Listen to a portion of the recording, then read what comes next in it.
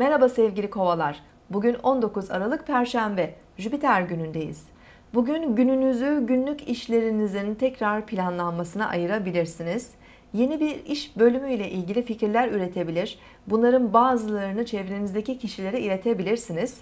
Fikirleri yarın tekrar gözden geçirmeniz gerekebilir. Burcunuzu dinlediniz. Bugün 19 Aralık Perşembe. Jüpiter günündeyiz.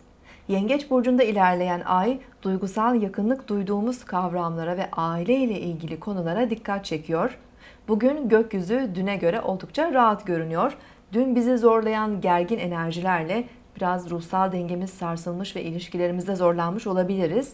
Bugün sorunları çözüme kavuşturmak için gökyüzü destekleyici enerjiler gönderiyor. Sabah erken saatlerde Ay Jüpiter kavuşumu iyimser ve pozitif enerjisiyle moralimizi yükseltebilir.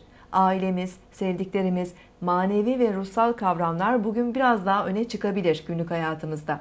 Öğle saatlerinde Ay Satürn üçgen açısı kendimizi daha güvenli hissetmemize imkan verebilir ve çevremizdeki otorite kavramları veya aile büyüklerinden de çeşitli destekler bulabiliriz.